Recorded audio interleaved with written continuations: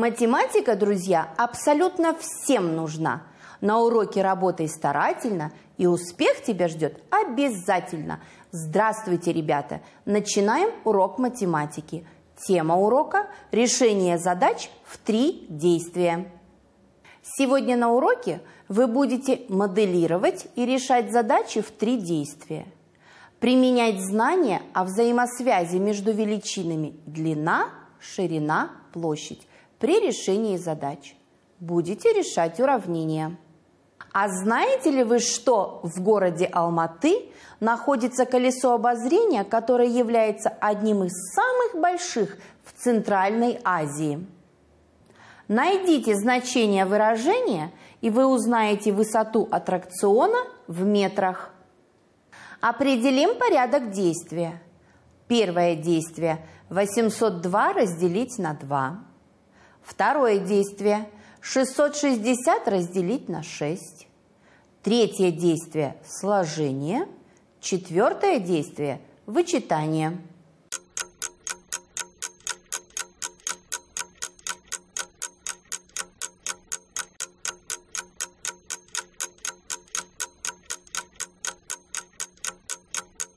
Давайте проверим. Первое действие. 802 разделить на 2 получится 401.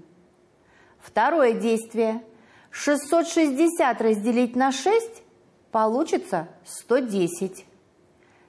Третье действие. К 401 прибавить 110 получится 511. Четвертое действие. Из 511 вычесть 451 получится 60. 60 метров высота этого аттракциона. Решим задачу. На аттракционе «Колесо обозрения» разместилось по 6 человек в 24 стандартных кабинках и по 4 человека в 12 комфортабельных кабинках – сколько всего человек разместилось на колесе обозрения. Запишем краткое условие задачи. Стандартные 24 кабинки по 6 человек. Комфортабельные 12 кабинок по 4 человека. Вопрос, сколько всего? Решим задачу. Что можно узнать сначала? Верно. Сколько человек в стандартных кабинках?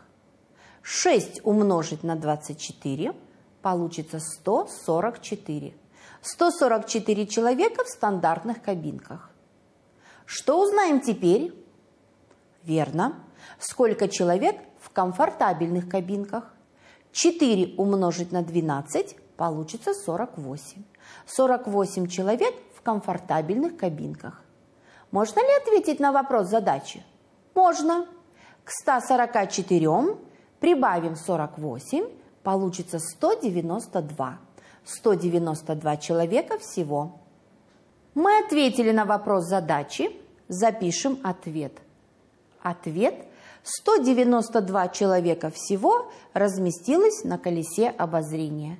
Мы решили задачу в три действия. Выполним задание. Запишите все возможные значения длины и ширины по известной площади прямоугольника.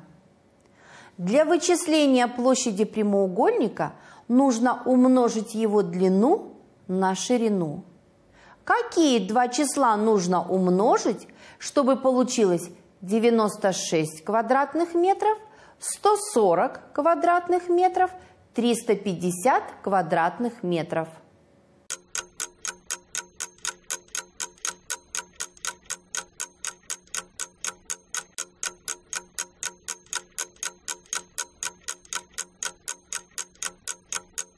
Давайте проверим. Возможные варианты. 96 квадратных метров – это 12 умножить на 8. 32 умножить на 3. 24 умножить на 4. 16 умножить на 6. 48 умножить на 2. 140 квадратных метров – это 70 умножить на 2, 35 умножить на 4, 20 умножить на 7, 14 умножить на 10. 350 квадратных метров – это 50 умножить на 7, 70 умножить на 5, 35 умножить на 10, 175 умножить на 2. Молодцы, ребята, вы отлично справились с заданием. А сейчас самостоятельно решите уравнение.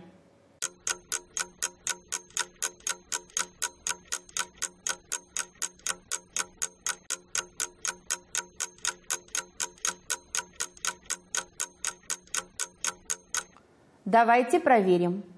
Разность чисел 1000 и y равна произведению 45 и 3. Упростим правую часть. 45 умножить на 3 получится 135. Неизвестный компонент – вычитаемое. Чтобы найти вычитаемое, надо из уменьшаемого вычесть значение разности. Из 1000 вычесть 135 получится 865. Проверим.